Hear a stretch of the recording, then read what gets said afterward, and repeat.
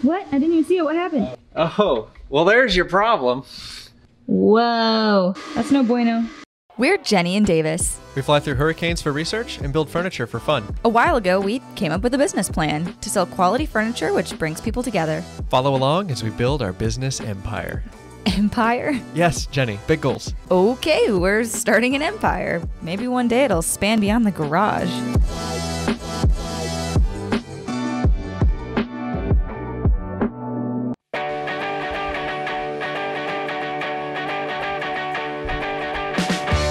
What day is it? Board day. How many boards are we doing today? Uh, well, we got an order for two um, to fulfill, and then another seven. So in total, we are doing nine all this morning. What are the other seven? The other seven ooh, are for future clients. Basically, we're sending out one to say, hey, this is us. Look at me. I'm pretty. And then we call them back later after they've got their board.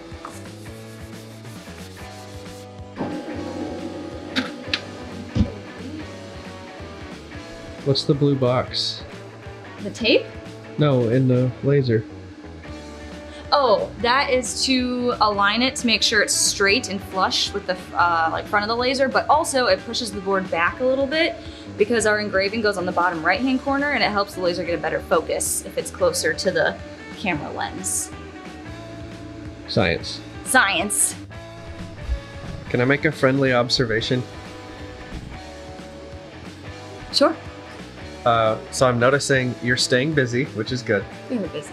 but it would probably be faster if you did all the boards one step at one time. Probably.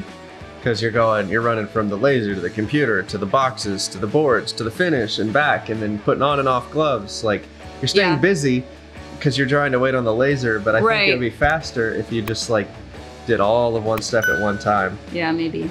Maybe you can work ahead while the laser's printing, but yeah, I can do, do, one thing what I all. should be doing is I should be doing all the labels at the same time I'm doing the laser because it's all computer work, and then after that I can hop on finishing and your letters too. You got to do your handwritten and letters. handwritten letters. Because the way you're doing it now, I can just see you throwing the wrong board in the wrong box with the wrong letter. What? Never. then what was I hearing you screaming about this morning? Oh, that was something else. What did you was forget? I it was I didn't forget anything. It was just a weird bad focus and the logo on the back of the board engraved like too high and then Oh. it crossed over. Yeah. Oh well, Throw it through the drum sander, it'll be fine.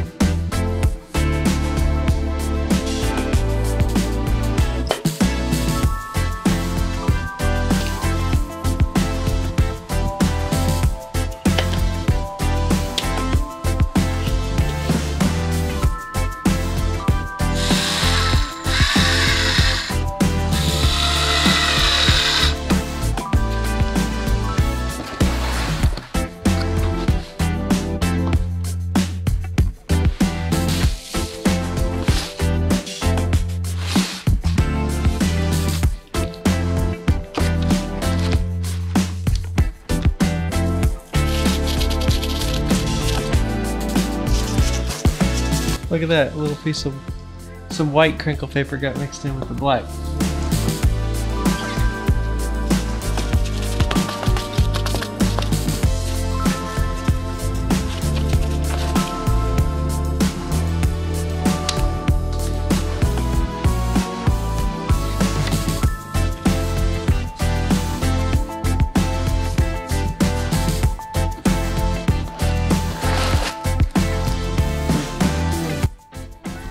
Perry, I told you I needed three more boxes.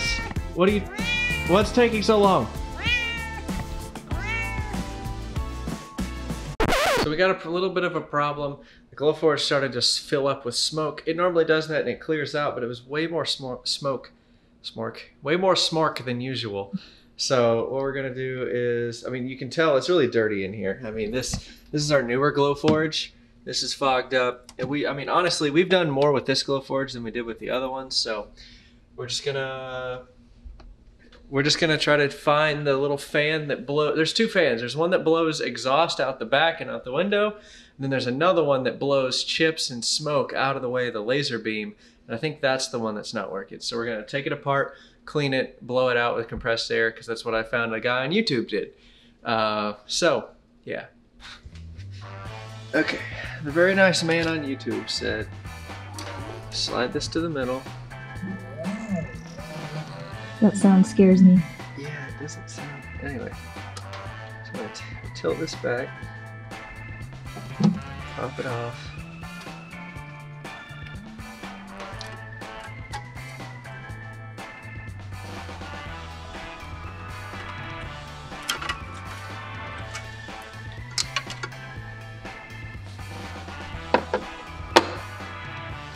Take the belt off. This is a new type of filming. Hey, should we put this on the OnlyFans?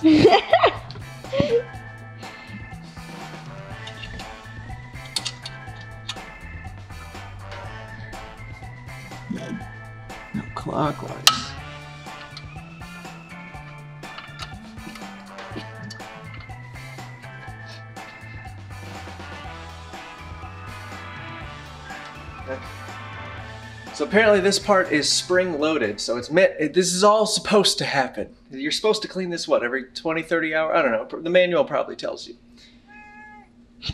Yeah? What say you? All right. So we're supposed to grab this, grab this, Wait for it. pull forwards. Oh, it is spring loaded. And then this just drops out. Oh, nice. Oh, well, there's your problem. Wait, let me focus. Whoa. That's why it ain't blowing air. It's so It's clogged. It's caked. So we're just gonna go ahead and blow this out, and then we're gonna clean out this entire box down here because it's getting pretty dirty. So.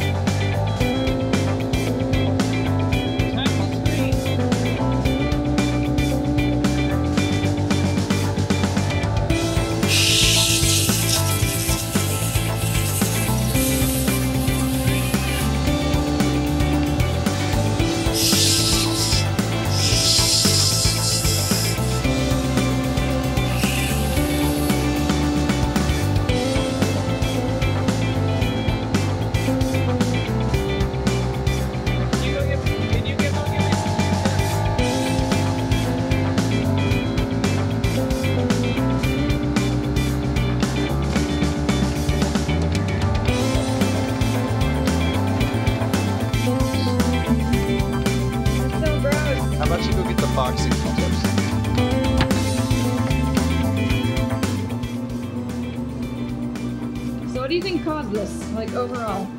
Just smoke. Just. That's just. I mean. Just smoke. Just smoke. I mean, you saw how dirty it was in there. We're doing a lot more engraving with this machine than we did with the other one. Yeah. So is this like upkeep? We need to do this now every Yeah, I'll check know, the manual to see how long they recommend it, but uh, yeah, this will have to go in the tool manual of how often to clean this. But these are from Jennie's ears last night. Yeah, right. Ew. All right, I think that's good enough. Look at it, it looks so much better. Yeah. Let me see the little vent on the back. Nice. That's where the air blows out. Yeah. And you got to be careful to not let this hit your workpiece Yep. underneath. So that's why we use different spaces underneath the cutting board to make sure that this doesn't whack into the cutting board. But on the bright side, this did happen on the last board of board day. So we got like all our other boards finished. So we're really only down one board. And then if maybe if we get time later this afternoon, I'll do this last board and then we'll be all caught up. So not too big of a deal. Learned something new and it didn't disrupt the process too badly. Uh, that's a win-win in, in my book. Here we go. So be very careful to spray the paper towel. You don't want to spray in here Break it down for the people on the interwebs. Why do you not spray it in there? because there's electrical pieces in here, electricity, and I mean I know it's alcohol, but there's water in the alcohol, and those things don't get along too well.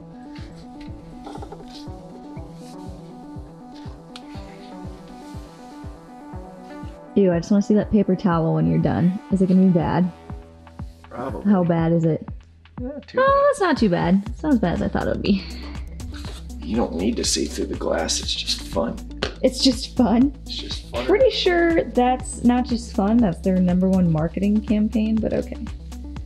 I mean, that is a smart design to put glass on the top, not only because you can see what's being cut, but like it's a nice big window to make sure that, that people taking video and stuff, they know. Plus, like their logo's right in the middle. Too, Right, that's so- why they did that, so that when people are taking time lapses, it's like, hey, they're gonna tag us, they're gonna share it, people are gonna know what it is. What if we put our sticker on top of that?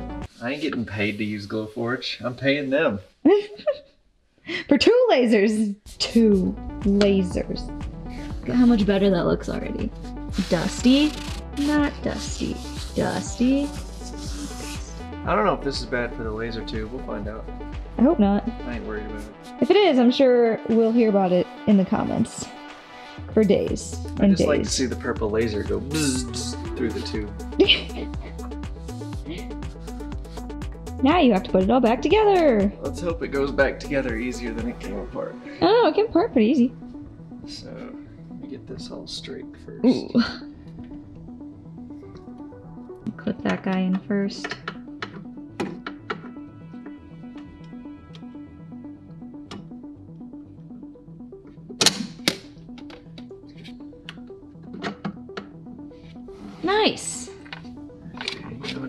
Make sure to put the belt on.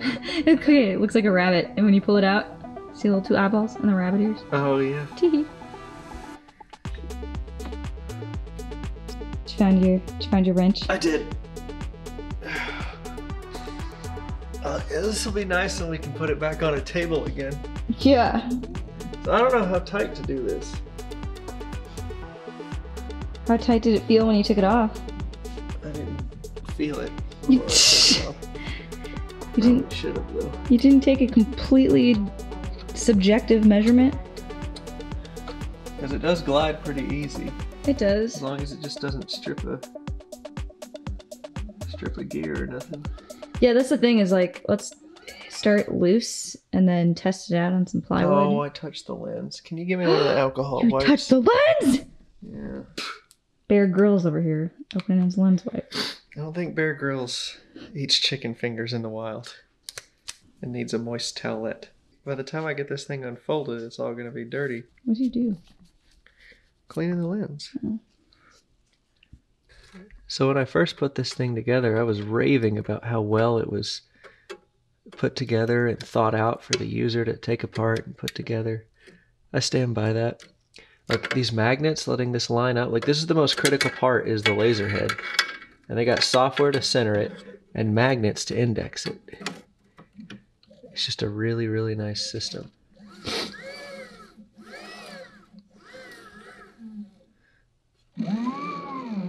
Looks smooth to me. All right, let's test it out now. Riveting stuff here. What do you mean riveting? That's exciting. I just took the whole thing apart, snapped it back together, and it's perfectly fixing itself. I'll let you guess the letter first. Should we test it on another piece or just no, go I think we should test it on another piece, honestly. Because what's if we do it on this little thing of Nah, plywood? I'm confident. Oh my gosh. I'm feeling good today. Oh. All right, moment of truth. Let's do it. Let's try it out.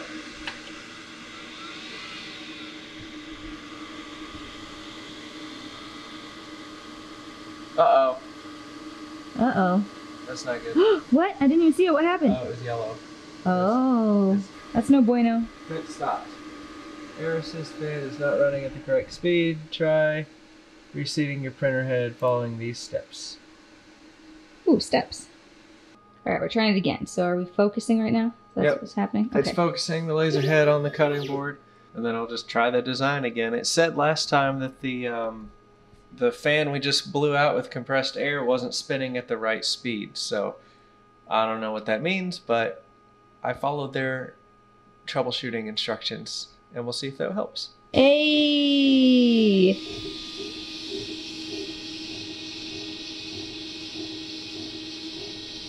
Oh, that's so much better. I didn't realize that's where all that smoke was coming from. So you can't really see it on camera, but there's smoke being pushed forward this way. You can maybe see it. You can see it a little on the plastic blue box. Anyway, so all of that, uh, all of that smoke you saw was just like slowly floating up because the fan wasn't blowing it out of the way. So it's been doing that for a while. Um, I like, I think that's what caused all of the glass to fog up and everything. So anyway, now we know that we need to clean that, and uh, yeah, crisis averted. Yay! Again, but even if it was a bigger problem, that's why we have two Glowforges because we're gonna get it. Things happen. This Glowforge is really well built, but I mean they're gonna break at some point. So um, that's why we have two. And if this became way more complicated, okay, we just run to the storage unit, grab the other one, and uh, keep Plug printing. and get engraving. But it's hard because the Glowforge, like, it's if you need to buy another one, it's a specialty product. Every product that we sell right now gets personalized in some way, Yeah. and we can't operate a business if we don't have a backup for this I mean, laser. that's our selling point too, is that it's personalized. So Right. So, anyway, uh, I guess we'll finish up board day. board day. It's board day. Happy board day. Happy board day. All right. Well, how many boards were we supposed to do today? So we uh, we're supposed to do seven. So weekly we send out seven boards just to new people, and then on top of that, I had to fulfill two from an existing client. So total of nine boards, and we got eight done because one of our other boards um, we built, we realized it had a crack in the end grain that we didn't realize, and uh, we want to either fill it with epoxy or not use it if we can't fix the crack. We ended up sending out six boards to new people and two for the existing client. But we're getting through all of the old, really thick boards. I think we've got two or three left, and then we can go back to the thinner boards that um, we can make a lot more of a lot faster. So Right. That's like the thickness we started with. and then- save on shipping costs too, because those thicker boards weigh more, so we pay more in shipping. So once we tell the UPS store that the box is thinner, or I guess The board is thinner, the board is thinner, the box is lighter, so we don't have to pay as much in shipping. So anyway, that was board day. Board day.